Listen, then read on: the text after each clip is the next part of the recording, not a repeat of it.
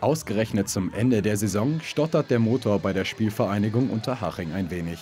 Fünf Siege gab es in acht Spielen zuvor, doch das 1:1 gegen den TSV Buchbach war bereits das zweite Unentschieden in Folge.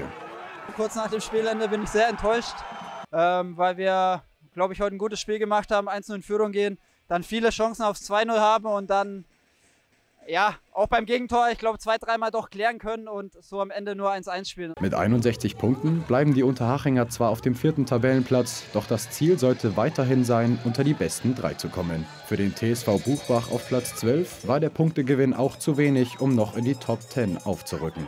Armes Spiel, vielleicht leichte Vorteile, also Chancenplus für Haching, aber ähm, ein Riesenkompliment an meine Mannschaft mit der Moral, wie wir uns heute dagegen gehauen haben äh, oder reingehauen haben.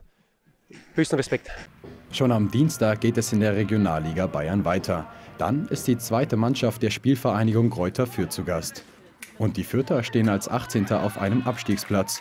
Doch mit einem klaren 13-0-Erfolg über Pippins Ried haben sich die Kleeblätter vor dem Auswärtsspiel in starker Form präsentiert.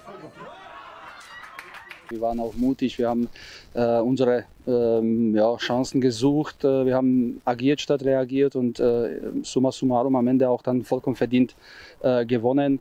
Die zwei noch ausstehenden Spiele bestreiten die Unterhachinger zu Hause. Es ist eine englische Woche, denn nach Fürth ist am Samstag der TSV Rhein am Lech zu Gast. Die Hachinger müssen also schnell das Unentschieden am Wochenende abhaken. Wir hatten uns vorgenommen, hier zu gewinnen. Ähm, ja, das ist uns leider nicht gelungen, deswegen sind wir jetzt äh, schon in gewisser Weise sehr enttäuscht. Der letzte Spieltag am 14. Mai ist auch der Familientag in Unterhaching. Ab 9 Uhr gibt es ein kleines Volksfest im Sportpark. Und der Höhepunkt soll dann möglichst ein Sieg und der Saisonabschluss als Tabellendritter sein.